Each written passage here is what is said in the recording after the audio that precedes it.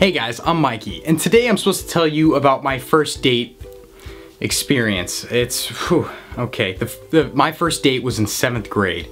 It was with a girl who actually asked me out, so that was some scary shit. For the sake of discretion in this video, we're gonna go ahead and call her Plan C. And I'm not calling her that because my 12 year old self knocked her up so bad that it required a totally different pill to make sure that we weren't having middle school babies. And it also wasn't because Plan A and Plan B girls weren't available, so I settled for Plan C. It just feels right, so I'm gonna call her that. So me and this girl, we were going to the movies, and in order to get to the movies as the 12 year old stallion that I was, it required a car. What kind of car, you may ask? Well, it was none other than my mom's 1998 Volvo station wagon. It was about as silver as the mane on Jay Leno's head. I have no idea how we came to the decision to see this movie, but it was Maid in Manhattan with Jennifer Lopez. So my mom and dad think it's a good idea to take my brother along with me on the date because they want to see the movie also. So we go to the girl's house, I pick her up, and there we are, family packed in that Volvo station wagon on our way to see Maid in Manhattan. Not even a good movie. And I think even a few of our neighbors might have snuck into the extended rear of the Swedish mobile that we were perusing in on our way to the movie theaters.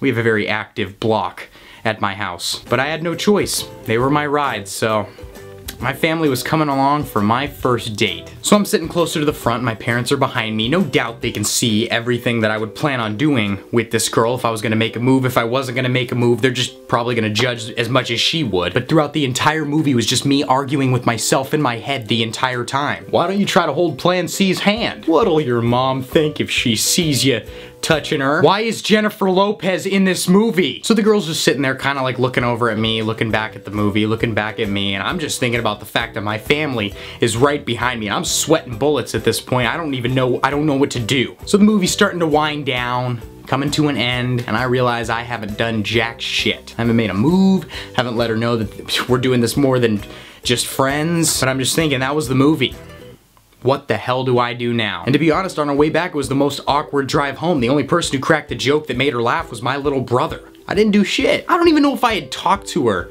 when we got into the movie. So we get to her house and I'm freaking out. Do I kiss her? Do I shake her hand? Do I give her a jaunty hip thrust?